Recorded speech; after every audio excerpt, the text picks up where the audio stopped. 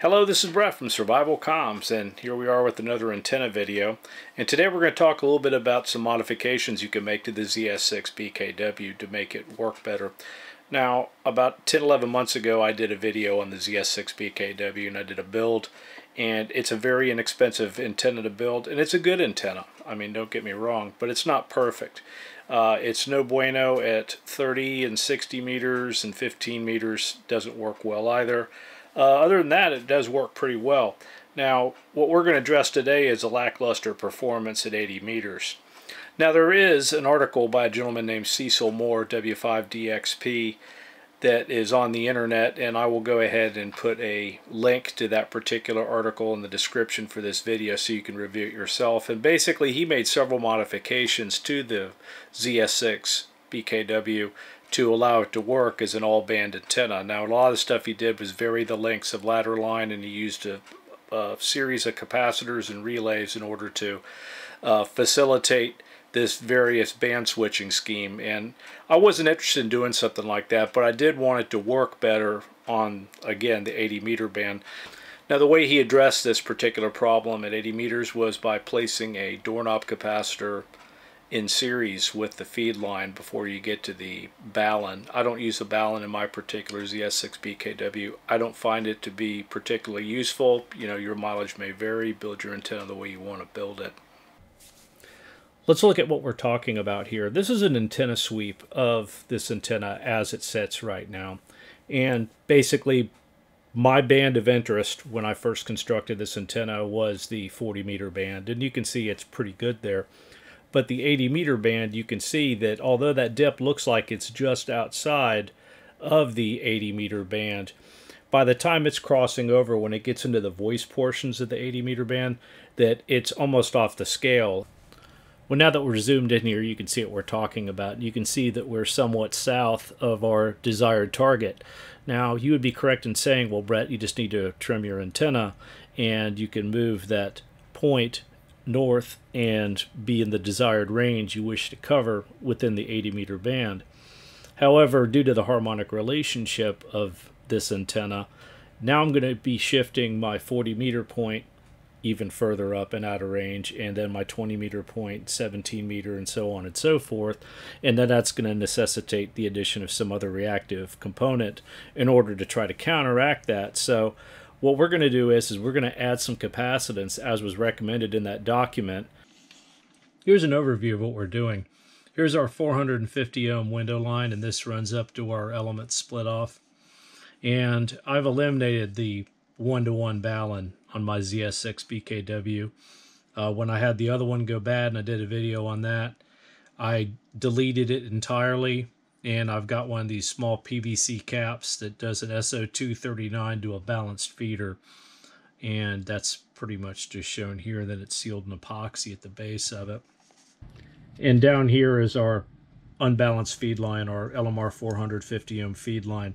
So what we're going to do is, is we're going to place a 500 picofarad high voltage doorknob capacitor in series with the center conductor and do it before our interface between the 450 ohm feed line and our SO239 here. Now, if you had a balun, you could do the same thing with your one-to-one -one balun right here and just place the capacitor in the same spot. Let me talk about how we're going to build this enclosure here and make it robust enough.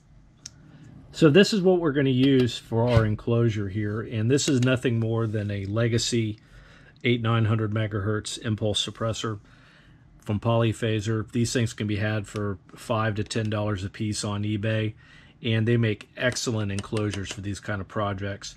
They've got RF connectors on there already. If you wanted to use N connectors, I'm going to go ahead and swap those out for SO239s because that's how I have my cable and my antenna connectorized, and I don't want to run a bunch of adapters that I don't have to run.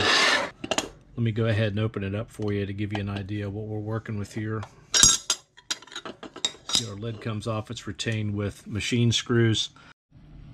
And here's the inside of our impulse suppressor here. And we're going to be able to repurpose uh, these conductors here for this micro strip for our installation of our 500 picofarad 30 kilovolt doorknob capacitor.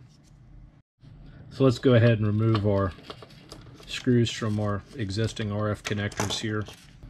You can see once we've removed our screws, it's pretty easy just to go ahead and remove our RF connectors and this conductor out of here. This one here is going to be a little more complicated. We're going to end up having to unsolder this inductor from this RF connector here.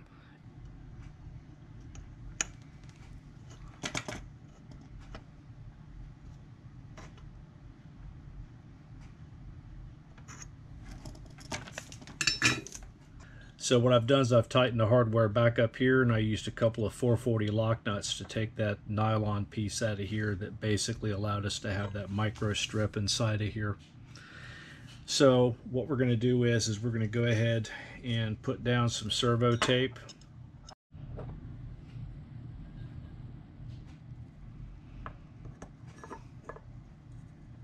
Just like that.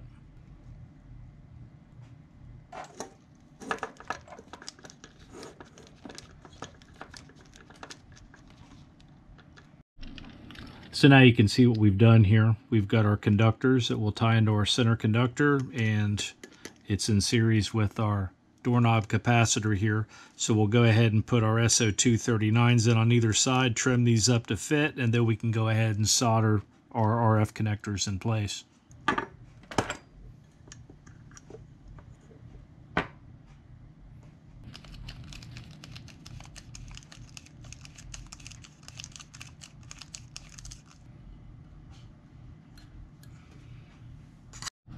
Well, we got our project, the physical part of it done. We've got our capacitor installed in series, got our RF connectors tightened up on either end, and all we got to do now is put the lid on the back side of it here, secure it up, and then take it outside and test it.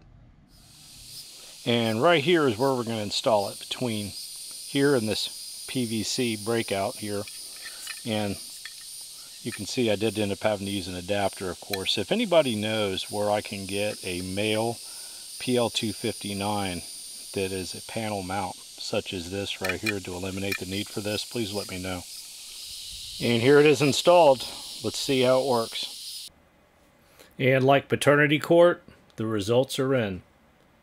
This represents our sweep of our antenna system after the capacitor was installed and we're comparing it to where we were at before. The lines in purple represent where we were at before. The lines in red represent where we're at now. And goody goody gumdrops, it looks like it worked out just like we thought it would. What we're going to do is we're going to zoom in on each band that the antenna is efficient at and look at the changes. And here are our changes on 80 meters and it looks like we've shifted the point up by 300 kilohertz, which is good news. And here's our results at 40 meters, and looks like it came up 200 kilohertz. Again, not perfect, but something that should be anticipated. And at 20 meters, it looks like we came up 100 kilohertz, and the results on 20 meters, that's not really that bad. That's actually a pretty good spot to be in. 17 meters, we came up 60 kilohertz, and the results are positive as shown here. At 12 meters, we came up a tad, but no profound change here. And finally, 10 meters, we've had a little bit of change here, but uh, again, like 12 meters, no real profound change. Let's do a little experiment. This is a signal that's being received by the ZS6 BKW at 3.8 megahertz, and this is without the capacitor and the received signal strength is minus 79.9 decibel milliwatts. Now let's go put the cap in line and see what our change is like.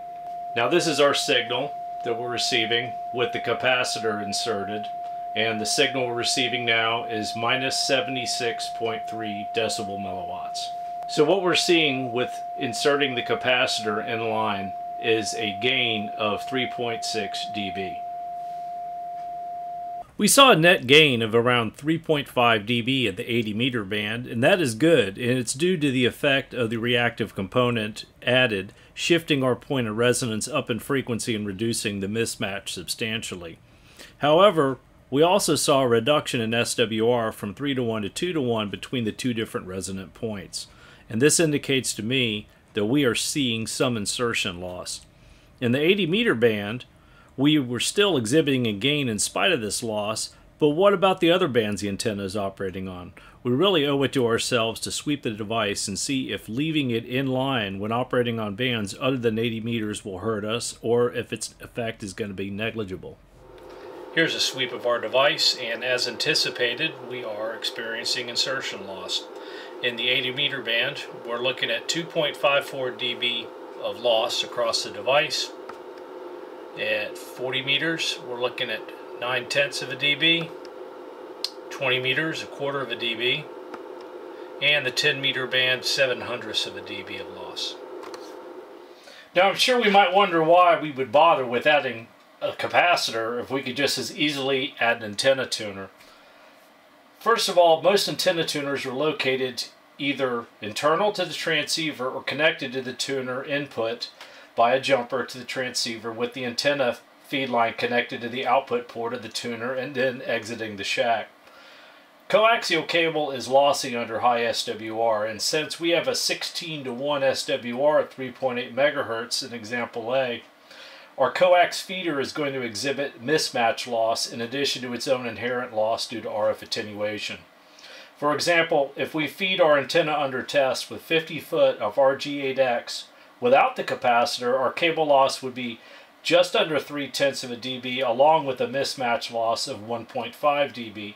So we're looking at a total loss of 1.8 dB under power regardless of tuner intervention. Now it is true that the addition of the capacitor at the frequency of interest is adding 2.5 dB of insertion loss. However, it is reducing our SWR feedline mismatch loss to 6 hundredths of a dB. And in our model here, here model B, our tuner will be working much more efficiently and not working nearly as hard trying to match the load. Let's perform an experiment and see how this works out. Now this is using our antenna tuner on the 80 meter band and our received signal is minus 81.4 decibel milliwatts. And here are results with running the device and the antenna tuner on our system and the received signal is minus 80.9 decibel milliwatts. Now one thing for sure is, is it was much easier to achieve a match with the manual antenna tuner with the device in line than it was leaving it out of line. That was interesting. So despite the math, we saw a net gain of half a dB in spite of the loss in our capacitor. You know, why is that? Tuners are not lossless, and the loss in a tuner is typically proportionate to the mismatch the tuner is trying to match. The tuner I use for this test is my Dentron Monitor Junior, you see here, and perhaps one of the dozen or so other tuners I have here would exhibit less loss, but this isn't a tuner video. I can speak from experience, however, that the internal tuner on my IC756 Pro 3 works hard to match this test antenna without the capacitor, but with the capacitor it's immediate and the measured match presented is flat instead of 1.5 to 1. I will add that the most efficient tuner configuration you can use is shown up here in example C. That is where the tuner is placed remotely at the feed point. But again, this isn't a tuner video and we need to move forward and address the elephant in the room. How would the capacitor left in line affect the 40 meter band besides changing the resonant point? We saw that there is almost a dB of insertion loss at 40 meters.